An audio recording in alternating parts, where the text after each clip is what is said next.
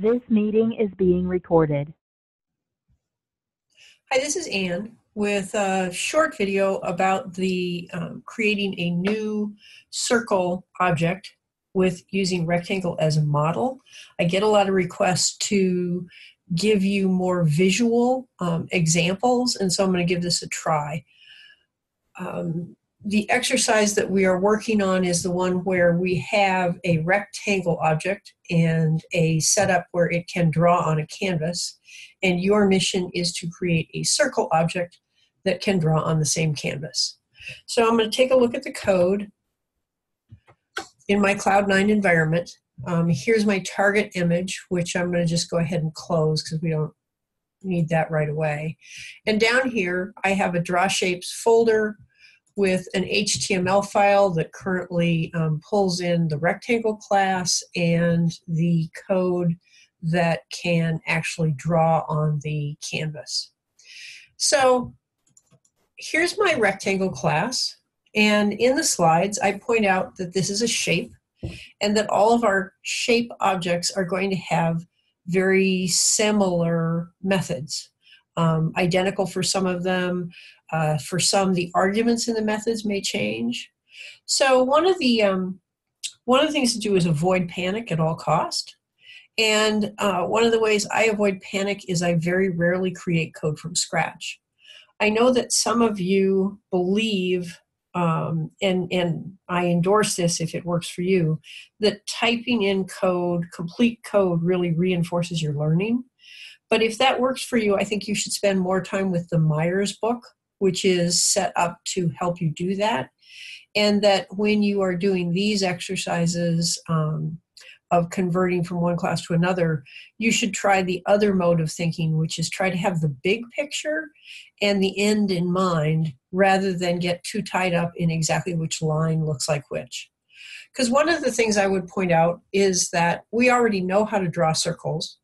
And we have in the slides the fact that um, we've been told that each of the shapes should have a series of methods like this rectangle method. So the first thing I would do if I was going to implement this, and indeed when I did my solution, how I did implement it, is I would come over here and make a duplicate file of rec.js and call it circle.js. There, that's something accomplished. And I'd come down here and I'd duplicate this line and say, let's pull in circle.js as well as rec.js. Note that both of these files have to be in the HTML above draw shapes because draw shapes needs to have those classes, those objects loaded into memory before it can use them and I apologize for sometimes calling these objects classes. I, I've been a class-based object person for a lot longer than I've been a JavaScript object person. So let's take a look at draw, shapes. And let's just assume that my circle um, code is working. And um, I mean, one of the nice things I like to do is assume code is working and then kind of move it that direction. So we have two rectangles here. Let's just copy this and create a circle. We want to draw a circle on here. And um, let's just let it have all default options. So we're going to call this C1 and this C2, C1. So basically, I'm, I'm assuming that circle's going to work and that I'm going to be able to draw it. And I actually know that that's not true, but um, it's useful sometimes to just sort of see what happens. So I'm going to run this file. Oh, but I don't run that file. I run this file that calls it. and I come here and I open that page. And you'll note I'm not getting a circle. I'm still getting the two rectangles that I had originally. If I look in my console log, I find that circle is not defined, which certainly makes sense because I haven't gone into my new circle class and done anything yet.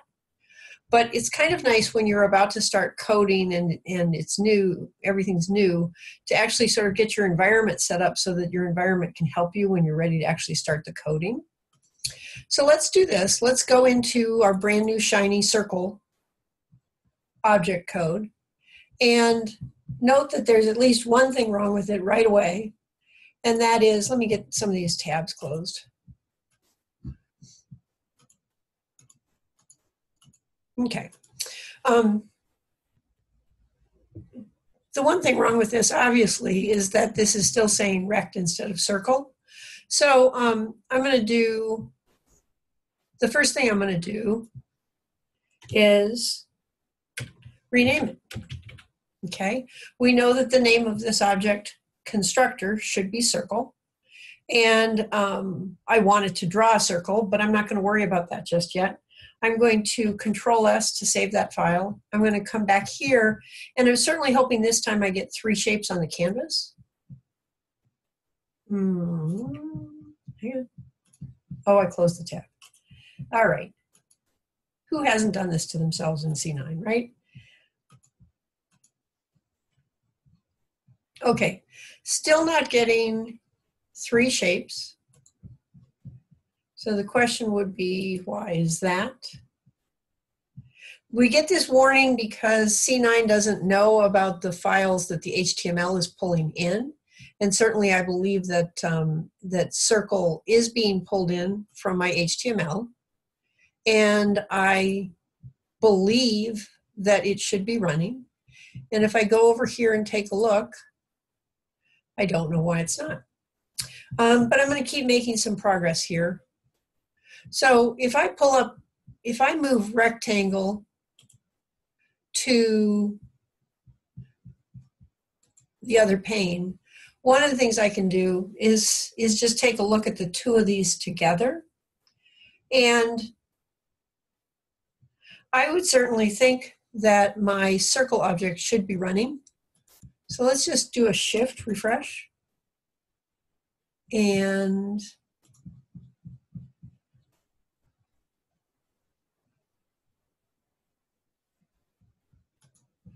take a look here. Oh, right. you always need to set context. Can't draw on the canvas if it doesn't know where the canvas is. So let's do that. So the minimum amount of code you need to draw a circle is instantiate it with new, set the context so it knows where the canvas is, and draw it. And now I think that code should be working. I come over here to my view and I do a shift refresh.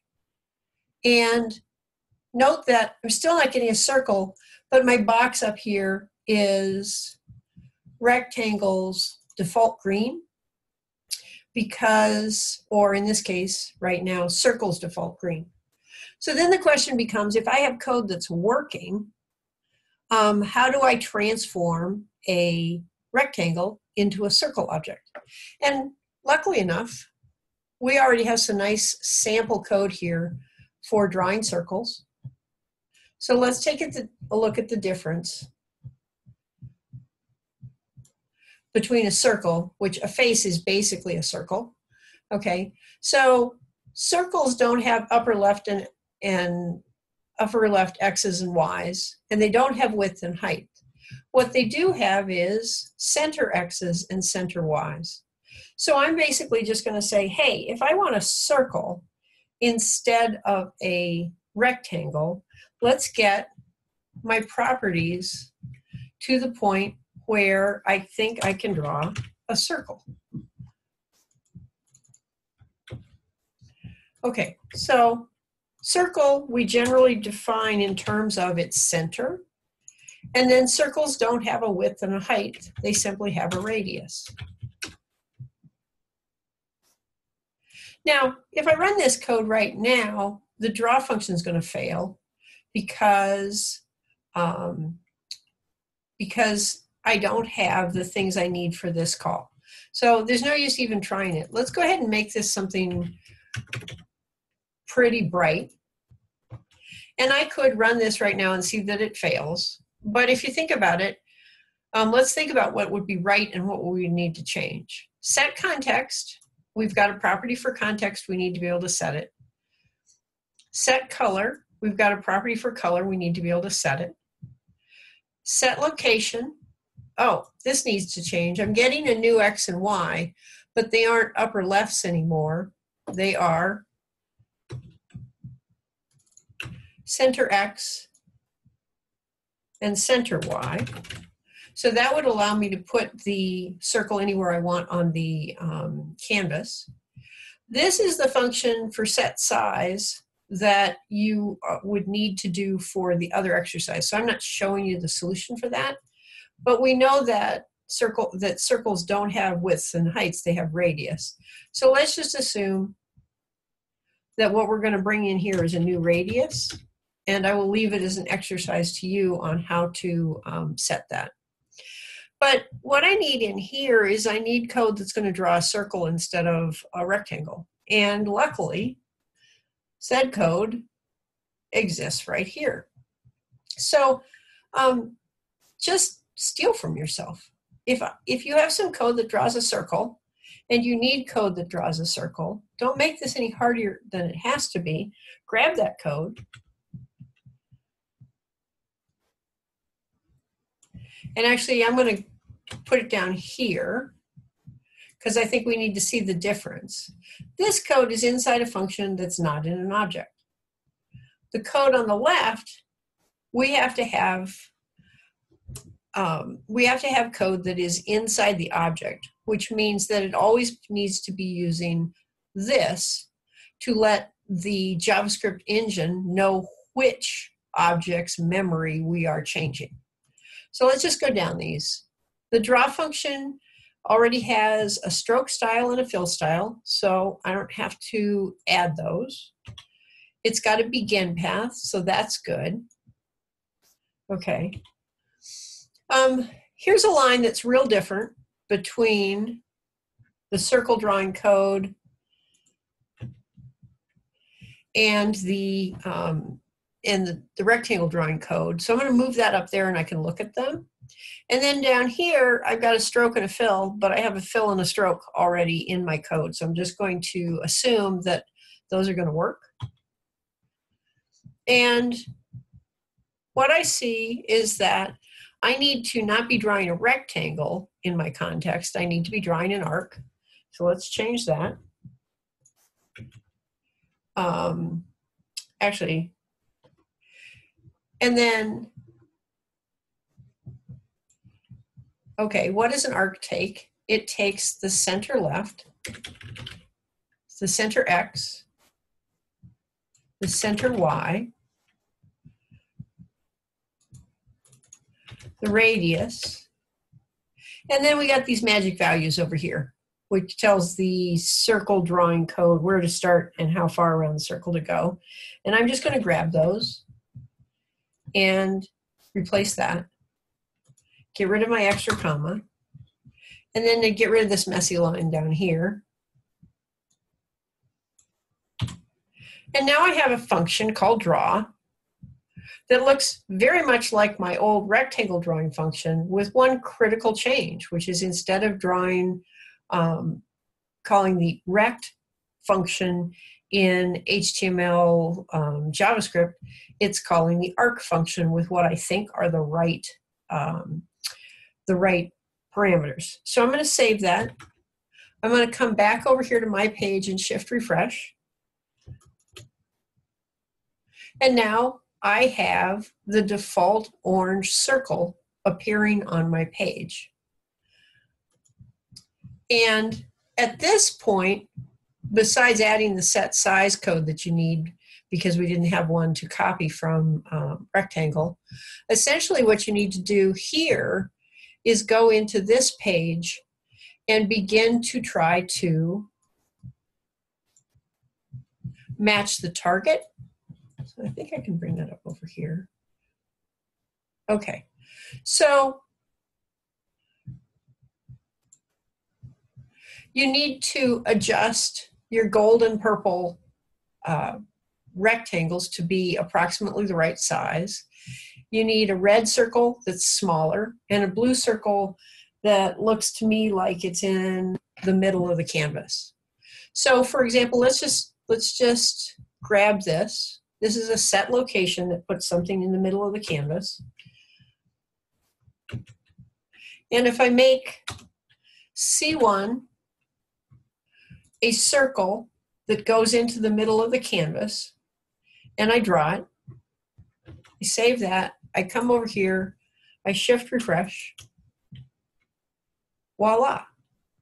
Now, there's an important difference between my target picture and my current picture, and that's primarily that the rectangle that shares an upper left with the center of the circle needs to be drawn after the circle code because order matters. Shift refresh. And now really, if I look at the target photo, the only thing that's really wrong is I have to change the color of my circle. And possibly I have to decide if that's really a gold or a yellow. But I'm already pretty close.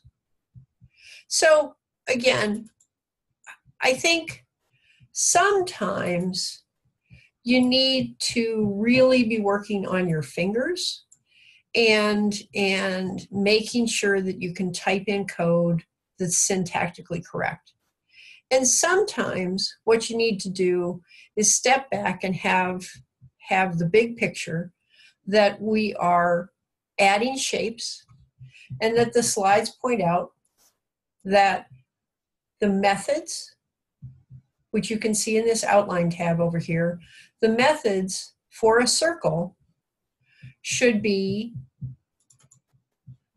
the same as the methods for a rectangle. The arguments are different, the parameters to those calls are different because of the underlying shape differences, but the overall outline of these shape objects should be about the same. I hope that helps.